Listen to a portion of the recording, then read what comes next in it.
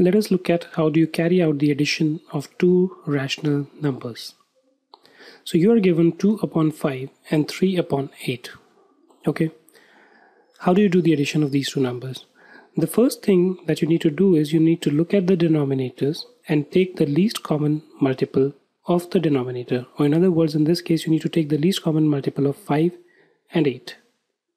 Right? The moment you do this, you get 40 as the least common multiple. Now 40 goes into 5 8 times. 8 times 2 gives you 16. Right? Plus 40 divided by 8 is equal to 5 and 5 times 3 is 15. Right? 16 plus 15 gives you 31 divided by 40.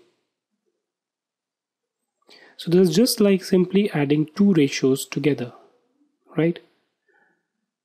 How do you do it? You take the LCMs of the denominators, find out what it goes into this. So 40 divided by 5 gives you 8, 8 times 2 gives you 16. 40 divided by 8 gives you 5, 5 times 3 gives you 15. The addition of these two number and then the denominator.